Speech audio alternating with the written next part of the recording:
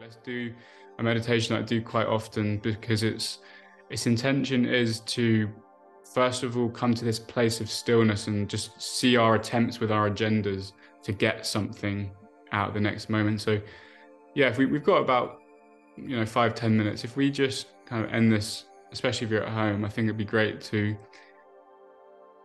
introduce you to what I tend to do at the start of each sitting, which is just to become aware of any agendas that we have on this moment. Because many of us, you know, we feel as though, you know, oh, I'm accepting the moment, I'm being present. But really, we don't have to worry about that. We can just allow ourselves to be agitated or to be happy or to be sad, whatever we want to label it as. And just to first of all allow that to be. And I want to become more sensitive of any agendas we have on this moment. And by agendas, it could be, you know, I want to be closer to enlightenment. Or I want this person to perceive me in a certain way. I want a validation from another person. Or I want to control the situation in some way, some aspect of control. So we want to find anywhere that we're kind of with a closed fist and we're, we're, we're holding on, whether it's a bodily sensation, it could be a very visceral physical thing, it could be a belief. I want to appear a certain way, I want to get something. What we're looking for is the place within us that can't lose or gain. There's a place within us that doesn't know of validation because it doesn't know of others. There's a place within us that doesn't need anything more because it sees it's never lost anything. Now, the body will usually be saying something different, even if we can logically see this. The body may have a resistance in it. The body may have certain emotions, certain places of agitation. Really, it can feel quite solid. And if we're to actually look into this, a lot of us don't realize that we're subtly resisting the body, perceived sense of the body, even if we think we're accepting it. Usually there's a subtle resistance. So put the attention on this body. And this can be done anywhere. I really recommend on public transport or in the shower, when you're eating, when you're with friends, when you're meditating, whatever it is. And just to allow whatever sensation is there to stay within you as if it was to stay for the rest of your life without leaving. And this is the greatest test of an agenda is am I just feeling this in order for it to go? Or could I let this stay forever?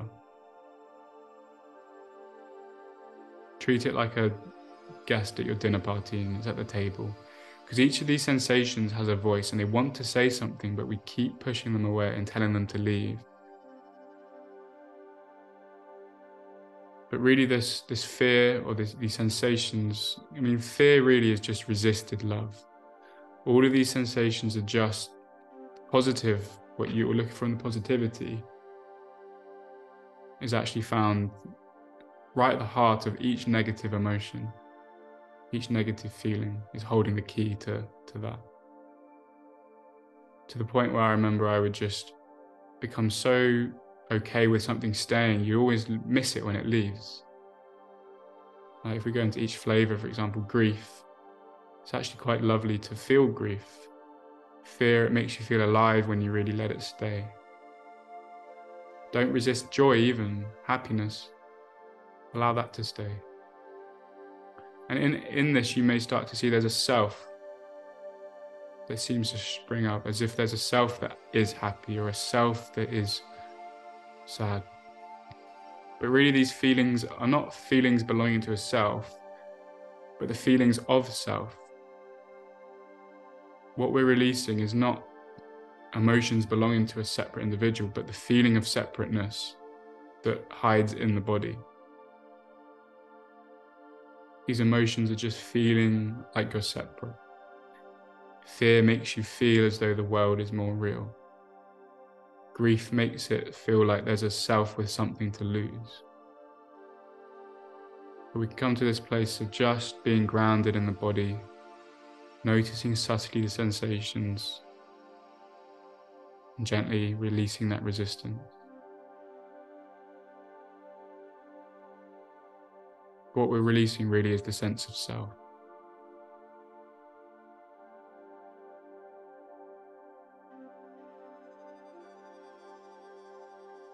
The most simple practice is just to listen to the moment without an agenda. Even if it's not to do with the body, even if it's just beliefs or thoughts, can we turn up to the present moment without any agenda to change it? We can't even have an agenda to remove the agendas. We just have to turn up without a sword or a shield and really let go without a plan, without a map, you can take this into any workplace, any job, any family situation, a date or a friendship group. Just turn up without a plan.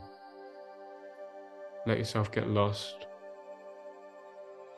Because no one's ever found truth with a map or a set of instructions. It's really at the depths of letting go of finding your way.